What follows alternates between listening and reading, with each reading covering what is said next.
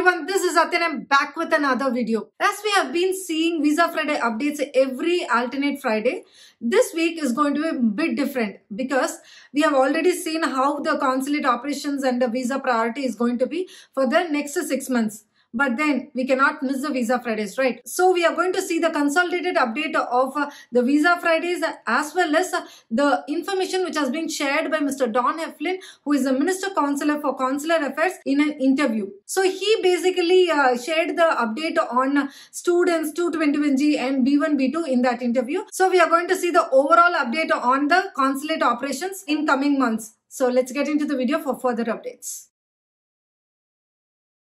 Before going to the Visa Friday updates, today November 19th, Department of State has updated in their official website that they are focusing to reduce the wait times of the consular services in all the consulates across the globe. Meaning the situation is far way better compared to 2020 and they have uh, issued a guidance for the visa priority during November 2020 and that has been cancelled right now. And um, they have also added a point that they have given full freedom to each consulate to decide their own visa priorities based on the local conditions and the staff's availability. And that is why we have already got the visa priority updates when it comes to US Embassy and Consulate in India, which has been shared by Mr. Don Heflin, who is the head of the Consulate US Embassy India.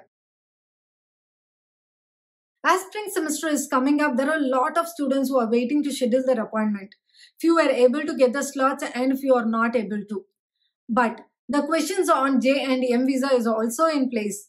You should understand that when there is an update given for student, it includes J and M visa category as well. As the consulate is always highlighting this point that they are giving a high priority for students when it comes to the slots availability because they have to join the college on time. And that being said, they have already given 62,000 visas for students in the fall semester. So don't worry if you're not able to get the slots right now, you can still try and maybe by end of November or December, they will increase the number of slots. That is what they have been mentioning. And moreover, the slots are available for in-person interview as well as for Dropbox. And in the interview, uh, the head of the consulate uh, have already mentioned the slots availability for the spring as well as for fall 2022. If you're a student who are joining in a spring semester and looking for the slot, then you'll be able to get a slots in November, December or even the early of Jan. And if you're a student who are looking for the slots for the fall 2022, then you can start looking for the slots end of May. Then you can also get slots in the month of June and probably by early of August as well.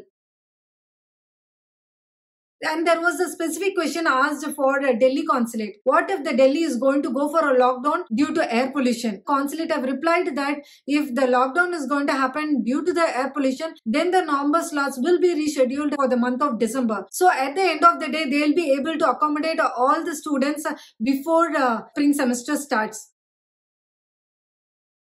There was another question asked for students category, whether the parents will be able to travel with the students because usually in India, parents used to accompany the students while joining the college. So for this, the head of the consulate answered that if the parent hold a valid B1, B2 visa, yes, of course. But then if the parents are not holding a valid visa, meaning they are waiting for the renewal to be done, which means the Dropbox, then they'll be able to get one appointment uh, starting January 2022. What if they want a new visa to be applied?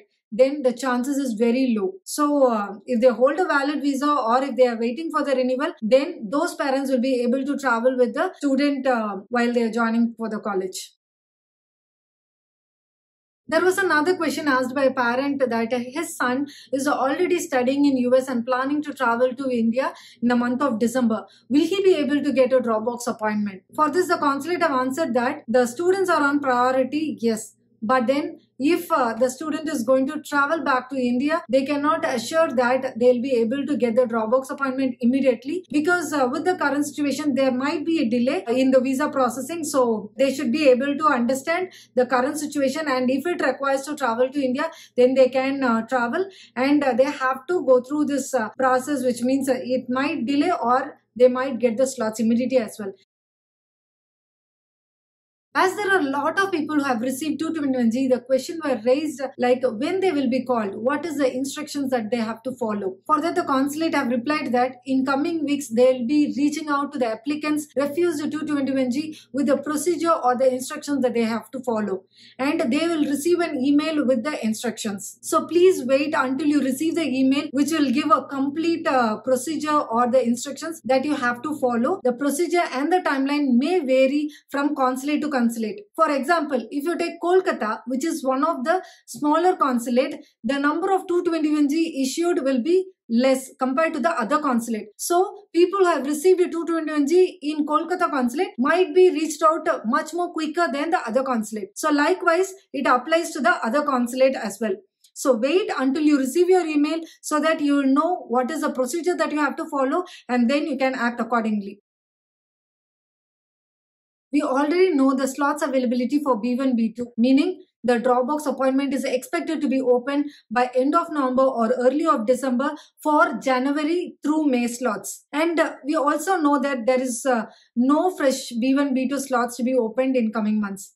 But what we don't know is when can we expect fresh B1, B2 slots to be opened? But for this question, two answers, which means uh, the consulate replied in the Visa Fridays that we have to wait for the next update for fresh B1, B2. And Mr. Don Heflin, who is the head of the consulate, answered in an interview for the same question that we cannot expect uh, the slots to be opened for fresh B1, B2 for next six months and even for one year the chances are very low so with this answer we can understand that the priority for b1 b2 especially for new applicants is very very low. We cannot expect the slots to be open for next six months there were a lot of questions asked for H4, L2 and even H1B, L1 visa categories. As the applicants are literally frustrated by looking for the appointments and at the end they are uh, either getting an error or there is no slots availability. The demand was already there before the travel ban was lifted but now after the travel ban lift, demand is crazy high. It is not that easy for an individual to get a slot. And for this the consulate have replied that when it comes to work visa, uh, the slots are opened every single week, be it like in-person interview or Dropbox. But as the demand is huge, it gets filled up quickly. And especially dropbox i think it is uh, opened for limited uh, numbers. That is why people are really finding it very hard to get the dropbox appointment and uh, the in-person interview appointments are, are, better compared to dropbox but still the number of appointments will be increased in coming days. That is what we can expect. And maybe by early of jan we can expect more number of slots to be open for work visa. But whenever the update uh, for work visa has been given the applicants are thinking that uh, it is uh, only for h visa category. But it is not like that. Whenever they mention it as a work visa it includes h visa as well as l category those applicants who are looking for the slots you can still get the slots in coming days. Please continue checking and make sure that you don't lock your account by checking it very frequently. So give it a gap and continue checking. You might be able to get one soon